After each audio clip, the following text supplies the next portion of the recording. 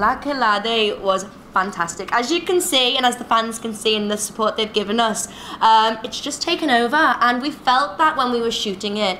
We felt the vibe, we felt the groove, and we just went with it. And I'm glad that everybody's loving it and appreciating what's happened.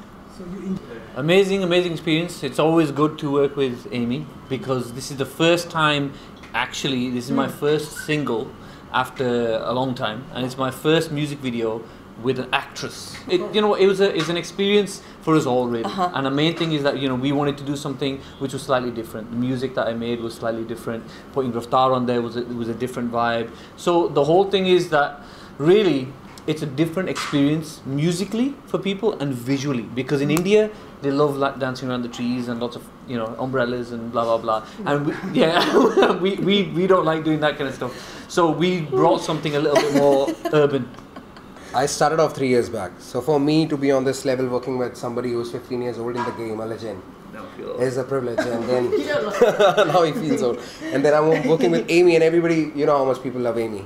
She's madness in the south, and she's taking over the north, the globe, everywhere. So yeah, so people who like me, people who like her, people who like Manj, combine everybody. This is a cult song, and it's it's just gonna take over. It's just gonna go places now.